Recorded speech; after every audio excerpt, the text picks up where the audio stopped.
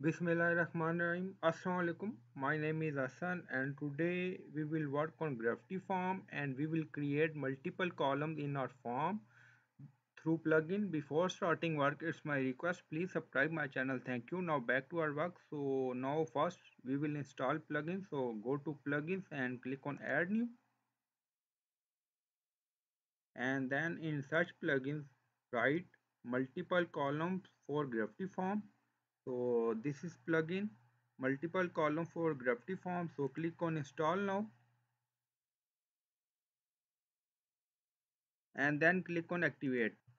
So plugin is activated. So now go to gravity form and we will create form there. So click on gravity forms. And then click on add new. So we will create new form. So multiple columns. You can write your form title and description and then click on create form.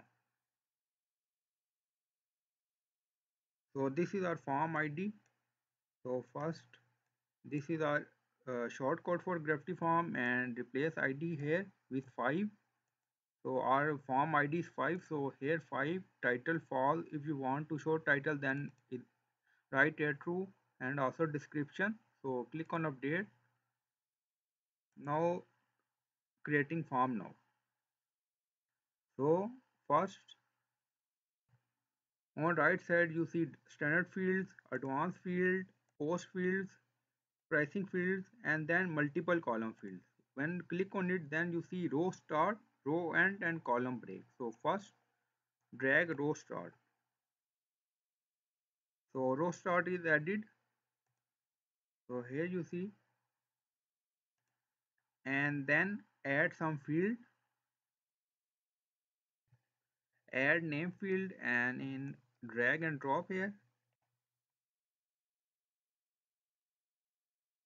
Then you can set according to your requirement I only want first name or you can set here you see first so you can set name just. So now you see name and field label. So now break the column. So column break. And now edit another field. So this is row start column 1 and break column and now column 2 so again multi advanced field and add date here. You will create form according to your requirement and then go to row end so row end this is row start then first column then column break and column 2 and then row end. So click on update. So form is updated. Now reflect uh, go to page. So now you see name and date in two columns. So in this way you can create multiple columns like column break. You can add again column break here and add any field here now you see row start row end and then name in first column date in second column and time in third column. So you can create multiple column through this plugin.